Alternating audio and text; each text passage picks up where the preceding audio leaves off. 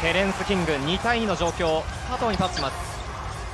ヘルプサイド林が手を挙げていた右のコーナーから林翔太郎。狙っていたケニー・ローソン・ジュニアが取りました。ブロープレー狙っている加藤。そして3対2のアウトナンバーです。土屋から加藤ワイドオープン。加藤武人今回もリングに弾かれました。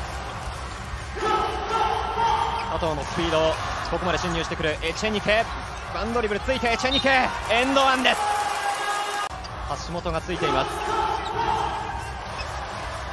エチェニケ。ワンドリブルついてファールがありました。エンドワンです。あら。山田アトムはどうするかパスに変えた。ケニー・ローソン・ジュニアにはエチェニケがついている。ローソン・ジュニアです。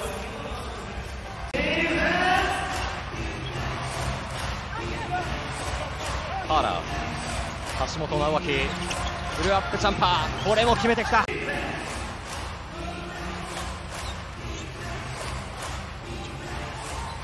バックドアです。山田アトム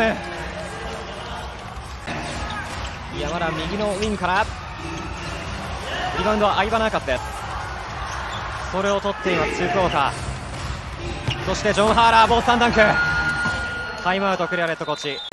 橋本にはその土屋大輝がついています。ローソンジュニアスリーポイント2本目です。ブロープレーブロープレーのスリーポイント。連続スリーポイントで静岡が引き離していきます。大塚から山田。倒れている。川渡が倒れている。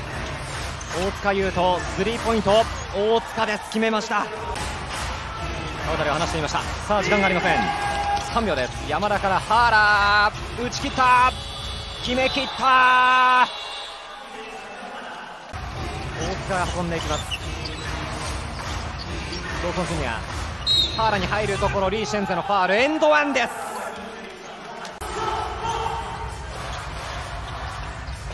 テンポを上げたい福島。エチェニケリング下ヘルプサイド菅野翔太スリーポイント。バックボードに当たったセルフリバウンド。キングへというところ新川が取っている。そして橋本尚明ここは自分でスコアしていきました。10点差です。急ぎたい福島。エチェニケ。パスに変えます。土屋大輝ここはツーポイントを選ぶ。フローター決めました。橋本がかいくぐりました。最後はシンカーがボールを持って試合終了ということになります。静岡。連敗3でストップです。